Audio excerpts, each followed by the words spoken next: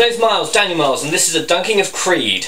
Okay, so let's break it down. Nobody wanted this film. Even Sly Stallone had had enough of this film, and yet the director of this film was so persistent that eventually Stallone gave up, read the script, and this film was made. So let's break it down. Apollo Creed's son has tracked down Rocky and he wants him to train him in order to become a boxer like his father. I'd say it's one of the best boxing films that I've ever seen. Stallone is amazing as a man who's just trying to exist, just trying to keep going. Michael B. Jordan is fantastic as Creed.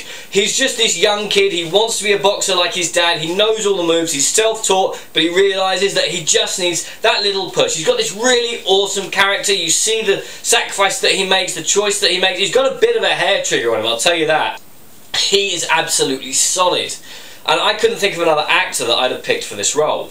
Even Tessa Thompson's Bianca has a character arc, whereas in earlier films she might have just been the love interest. No, in this film she's got her own life, she's got her own dreams, she's got what she wants to and even she gets her own story arc. There might be a touch too much talking for some people, but the boxing scenes more than make up for it.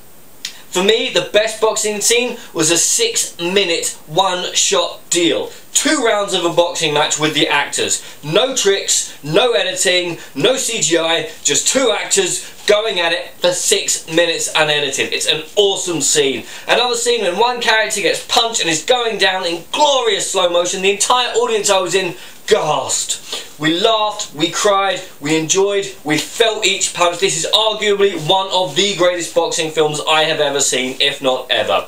Creed is an amazing film. The plot is slightly predictable, but everything else is absolutely first rate. There's no weak links, there's no weak moments, there's no characters I want to get rid of.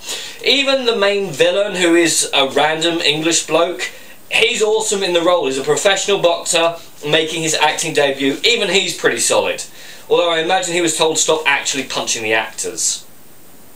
Creed is See It Now. It is an awesome start to the year. I'm Daniel, this is Dunky. If you enjoyed this video, please like, share and subscribe.